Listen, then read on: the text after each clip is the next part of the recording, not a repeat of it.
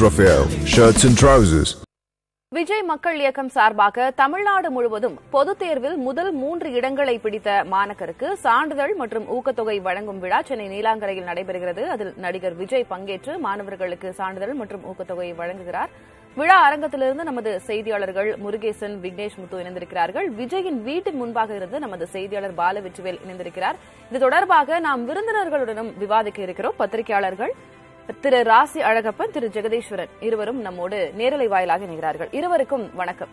திரு ராசி அழகப்பன் நான் உங்ககிட்ட இருந்து தொடங்குறேன். விஜய் அரசியலுக்கு வருவது என்னவோ உறுதி அப்படிங்கறதா பொதுவான பார்வை. இது அவருடைய அரசியல்ல அடித்தளமாக பார்க்கணுமா இந்த நிகழ்வை? அல்லது அந்த பயணத்தில் இது ஒரு முக்கியமான மைல்கல்லாக பார்க்கணுமா? உங்களுடைய முதற்கட்ட பார்வையை பதிவு பண்ணிட்டு நம்ம அப்படியே தொடரலாம். ஒவ்வொரு கேள்விகளாக மரியாதைக்குரிய விஜய் அவர்கள் விஜய் மக்கள் இயக்கம் என்று துவங்கி பல்வேறு நடைமுறைகளை தமிழகத்தில் செய்து கொண்டு வருகிறார். அதுல கொஞ்ச நாளைக்கு முன்னாடி வந்து பசி தீர்த்தம் திட்டம் பண்ணிட்டு இருந்தாரு. இப்போ கல்விக்காக ஒரு முன்னெடுப்பு எடுத்து வச்சிருக்கிறாரு. இது இருநூத்தி முப்பத்தி நான்கு தொகுதிகளிலும் இருக்கிற மாணவ மாணவிகளுக்கான ஒரு ஊக்கத்தொகை. அதாவது கல்வி சார்ந்து என்னுடைய கண்ணோட்டமும் என்னுடைய முன்னோட்டமும் இருக்கும் என்று விஜய் அவர்கள் ஒரு காலடி எடுத்து வைக்கிறார். இது வந்து அரசியலுக்கான முன்னோட்டமாக இருக்குமா என்று சொன்னால் இருக்கலாம் அல்லது இல்லாமல் போகலாம். ஏனென்று சொன்னால் ஏற்கனவே தமிழகத்தில் நான்கு நடிகர்கள் அரசியல் கட்சிகளை துவக்கி நடத்தி கொண்டிருக்கிறார்கள்.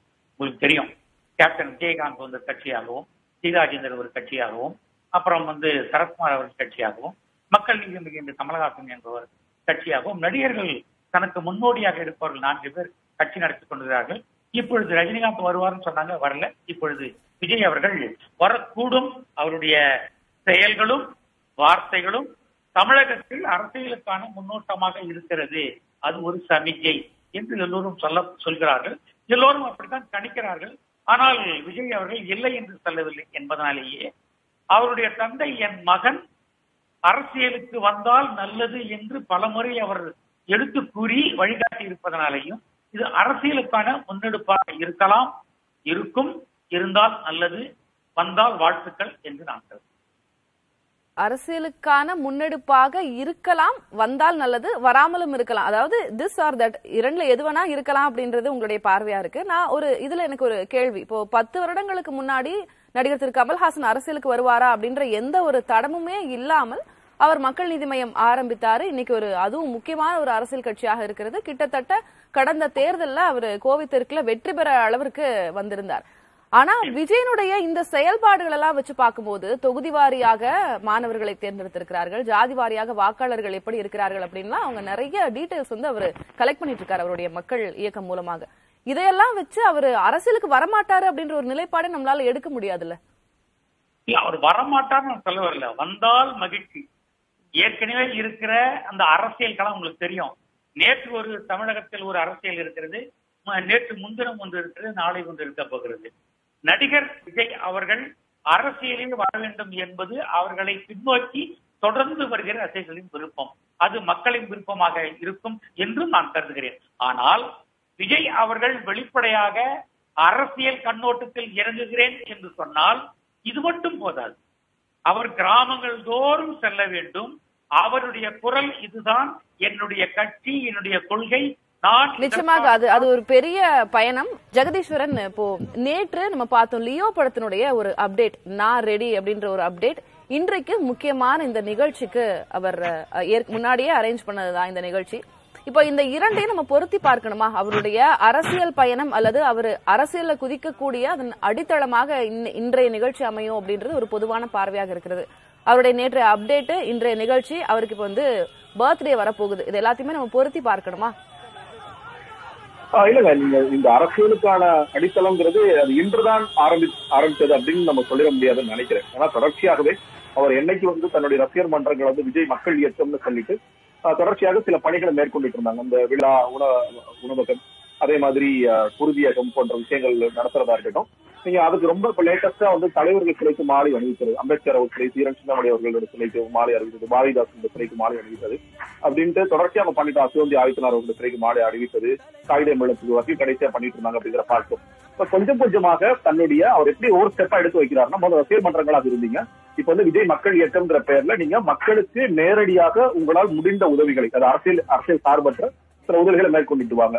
அடுத்தபடியாக அரசியலுக்குள்ள நுழைவதற்கு ஒரு ஆரம்ப கட்ட புள்ளியாக நீங்க இந்த- தலைவர்களுக்கு வந்து தலைவர்கள் குறித்து தெரிந்து கொள்ளுங்கள் தலைவர்கள் சிலைக்கு மரியாதை செலுத்துங்கள். அவர்களுடைய நினைவு நாள்லயோ மற்ற பிறந்த நாள்லயோ அஞ்சலி செலுத்துங்கள் போன்ற விஷயங்கள் சொல்லிக் கொடுக்காங்க பார்க்கிறேன் கொஞ்சம் கொஞ்சமா இப்ப என்னன்னா நம்ம நம்ம எதிர்பார்ப்பு என்பது விஜய் அரசியல் கட்சி துவங்குவாரா? அவரோட கொள்கை என்ன? அவரோட கோட்பாடு என்ன? அவர் எப்ப எலெக்ஷன் நிற்பாரு போன்ற பல விஷயங்களுக்கு நம்ம ரொம்ப தள்ளி இருக்கிற விஷயங்களுக்கு உடனடியாக தீர்வு காணா இல்ல வந்து பதில் தேட முயற்சிக்கிறோம் நான் நினைக்கிறேன். அஹ், படிப்படியாக அவர் கரெக்டா அந்த பாத்துல வந்து ரொம்ப ஸ்லோவா சரியா போகணும்னு நினைக்கிறார். நான் நான் நான் நினைக்கிறேன். ஒவ்வொரு ஸ்டெப்பா எடுத்து வைப்போம். உடனடியாக எல்லா ஸ்டெப்பையும் எடுத்து வைக்க வேண்டிய அவசியம் இல்லை. நாளைக்கு நாடாளுமன்ற தேர்தலில் நம்ம வரப்போறோமான்னு தெரியாது. இந்த சட்டமன்ற தேர்தலுக்கு தயாராவது கூட நமக்கு நேரம் நிறைய நிறைய நேரம் இருக்கிறது.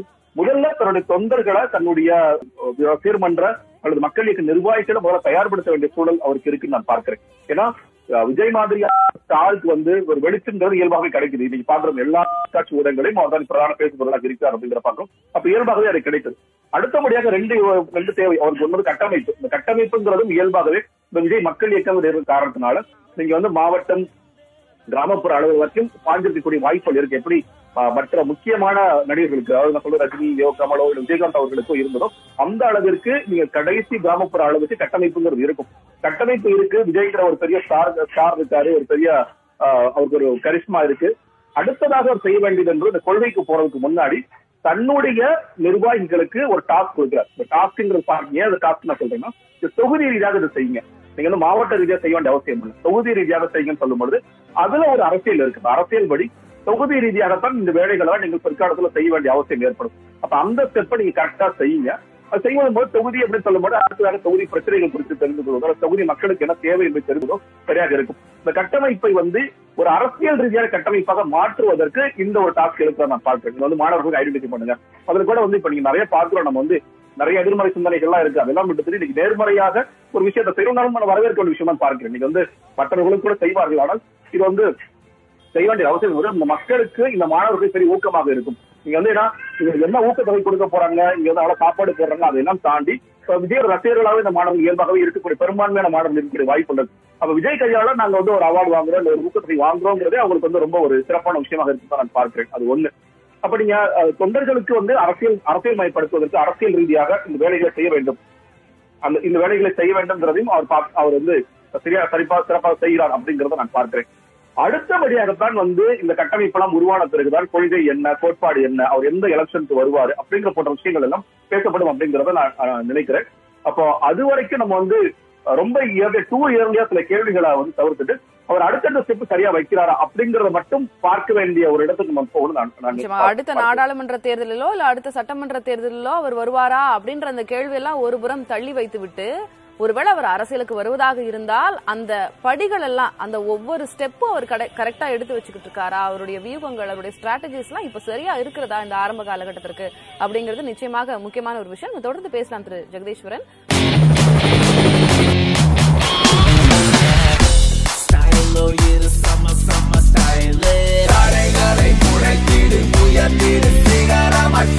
ஃபிட்டான போட்டிசல் இருந்தா கான்ஃபிடென்ட்டா என்ன வேணாலும் செய்யலாம் Botticelli it's my confidence Botticelli and Raphael shirts and trousers.